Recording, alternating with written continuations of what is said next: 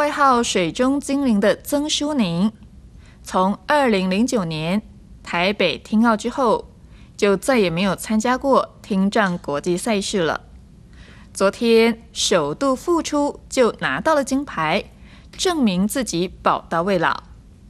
另外，中华队在网球和保龄球都有金牌入账，目前已经总共得到了二十面的金牌，不但稳居总奖牌第一，也超过了原本设定十八斤的高标。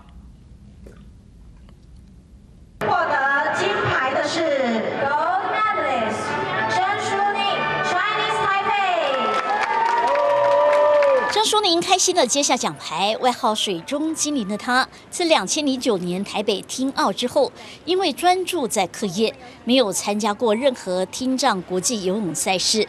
直到今年硕士毕业，九月开始参加集训，就一举拿下桃园听障亚运女子五十公尺雅士第一名，证明自己仍然宝刀未老。就加一跳，我也不会有成绩，然后就很怕他会丢的。郑淑玲她因为有有好几年的停滞期啊，所以她这几这一阵子集训期很努力的去恢复她以前的状况。而在两千零五年墨尔本听奥，和曾苏宁一起首次入选的潘正，也拿下男子五十公尺仰式第三名。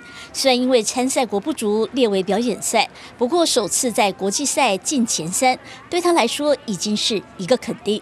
韩国，呃，我有去参加去比赛，然后拿到第四名，然后就差一点拿到第三名。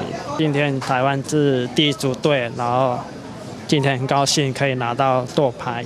除了个人赛，中华女子四百公尺四人混合接力也游出了一面铜牌。另外，网球、保龄球也有金牌入账。目前中华队以二十金九银八铜，不但稳居总奖牌第一，也超过了原先设定的十八金的高标。记者牛宣文、郭俊林桃园报道。